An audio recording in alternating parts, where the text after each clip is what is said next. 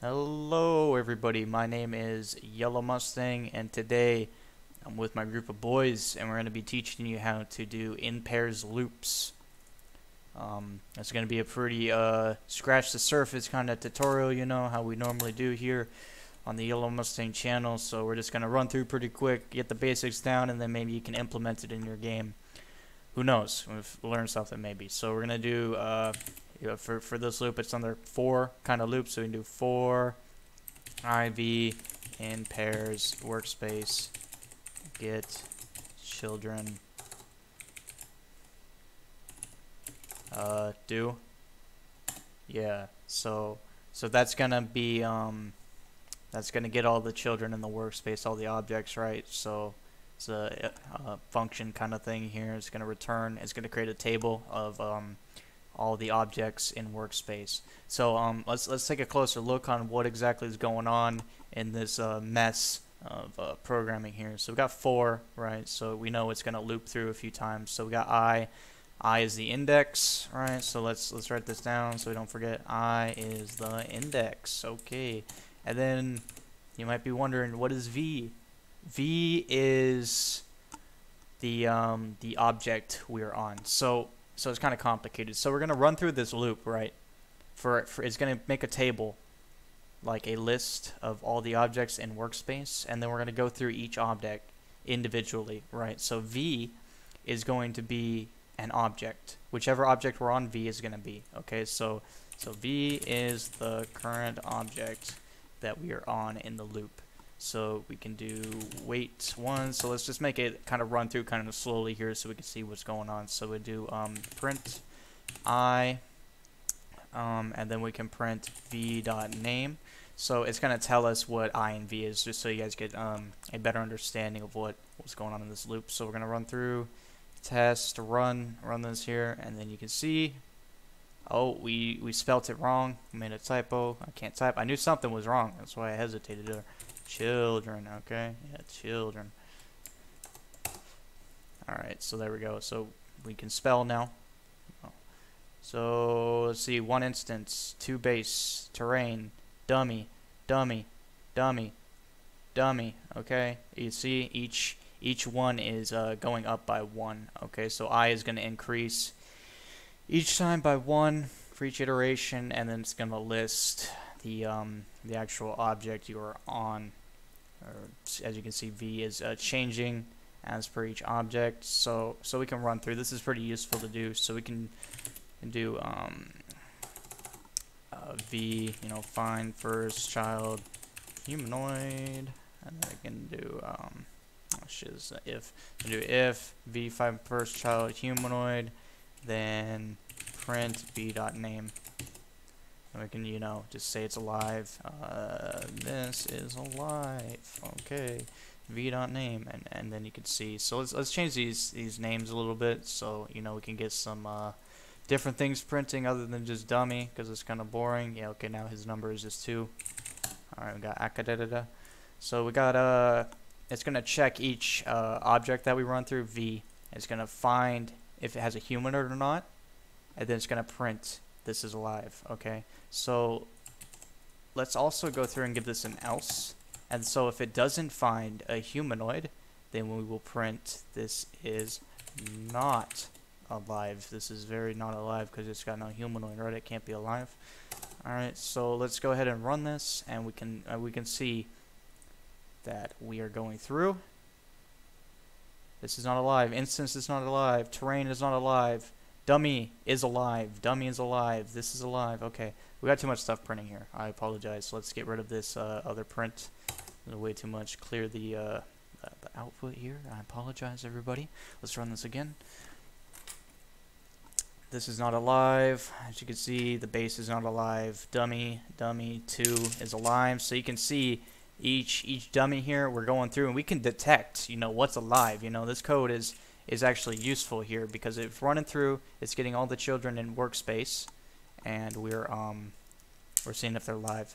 So you don't have to use workspace get children in here. This just needs to be like some kind of table in here. So we can do um, we can do our own table. Okay.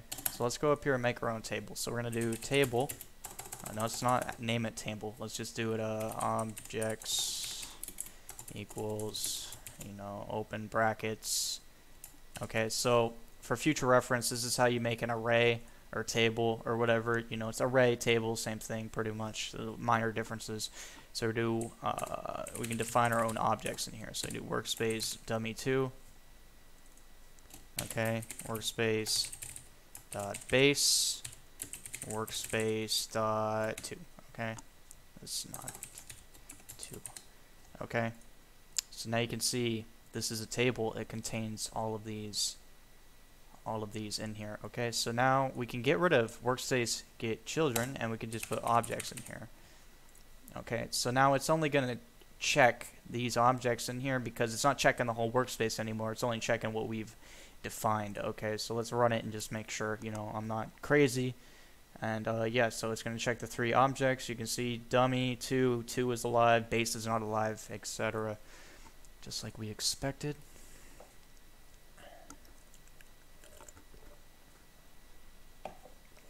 Okay, so let's do some more with this. So now, now if it's alive, you know, we can make the v.humanoid move to workspace, uh, I forget, workspace uh, base, not position, uh, not position, position, and then workspace dot base. Okay, so now we will do a little bit more with this. So it's going to check if um, V has a humanoid or not, and then if it has a humanoid, it's going to print that it has a humanoid, and then we're going to make the humanoid walk over to the position the base position, so it's gonna it's gonna walk around. It's gonna be horrifying. So let's uh let's see what we get here. So um okay um good good good good position is not a valid workspace. Yeah, so I did not mean that. I meant base. So so the humanoid move to command here requires a position and then a part. So yeah, so we're gonna just use the the basis position and use the base as the part. So go ahead and do that. This is alive. Okay. It's not moving. Um, yeah, it's not not moving there. The walk speed zero? No, it's 16, isn't it? Why why don't you move? Oh, because you're anchored. Okay, so let's just make sure you know it's not anchored. Okay. Um, it still doesn't move because it's um it's a piece of shit. But but anyways, um, yeah, that's that's nice. Let's not let's not use move. We can just do humanoid take damage 100. Okay, so we're gonna go ahead and just deal like a lethal blow to these guys to do 100 damage to each one of them if they are alive, right? If they're in our table and if they're alive. Okay, so boom, dead. All right, boom, dead.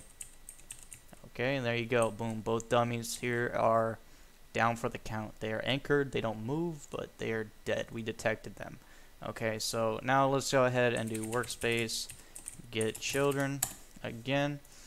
Uh, ignore objects now, so go ahead and just check the whole workspace now for uh, anybody alive, and we're just going to kill everybody because um, so we do here on my channel, we just kill people apparently. So there you go, boom, boom, boom, boom, boom, boom. Alright, so yeah, everyone's dead. That's good. Um, let me think. Is there anything else we need to talk about in the for for loop? So, so with the for iv loop, you don't have to have um, i in here if you don't need it. Generally in programming, you can put a underscore is what people do for an undefined variable like that. It still kind of exists, but it doesn't really define it. So if you're not going to use i, just put an underscore and you just do for underscore v in pairs, whatever. So, so just remember i i, or whatever this is, is the index. V is the current object it's on, what it's processing, so you can check it for humanoids, print the name, etc. And then we're do in pairs, right? And then we're gonna insert the, our table we're checking right here, which is workspace. All of the objects in workspace is our table, or we can use objects as our table, or whatever table you want to do. So that's pretty much it for um, in pairs loops, for in pairs loops. So if you guys have any more questions, You know, let shoot me a comment, private message, text my girlfriend, whatever. You know, just let me know. All right. See you in the next video.